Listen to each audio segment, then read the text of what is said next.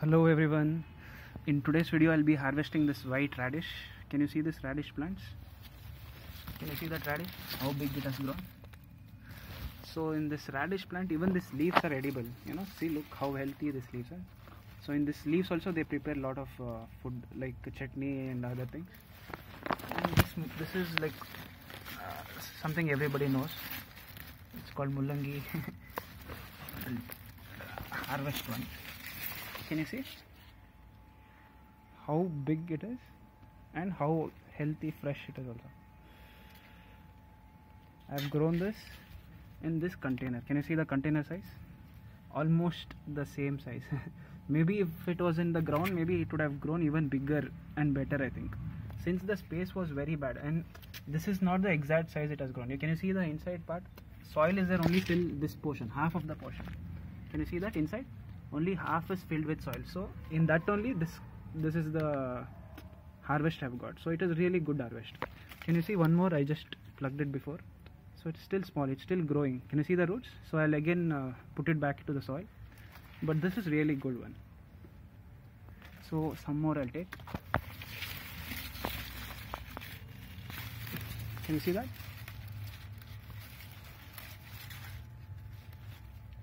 I think still it has to grow. This is completely grown.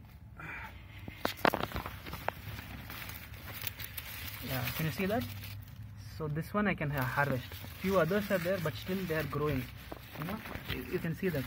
It has already come out. That means it's I can still harvest this guy. I think main problem is the uh, space you know. It's growing in very congested area because you can see right there is no space at all for growing for them. So see. Anyway it's really good harvest. For a family of three members you know it's more than enough. Actually I can use this for another time also again because in the ground floor also I think few radish has come. I think and they're still growing I think. I shouldn't harvest it.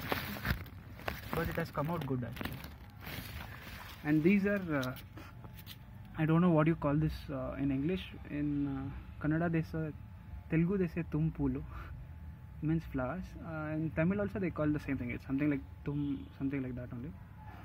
This is also very uh, useful actually. These leaves you know are like uh, repellent they repel the mosquitoes. And even these leaves are useful and when there is like snake bite and all. So there are a lot of medicinal properties for this flowers and this uh, plants also. Can you see that? So they are also very easy to grow. See if you find this flowers anywhere right all you need to do is just go collect these kind of seeds dried seeds. So before you know only this was the first plant here actually. So all these flowers have dropped here and they have grown here again. See can you see? All these have grown from this one single plant. So all this flower were dro dropping here. Can you see all those flowers?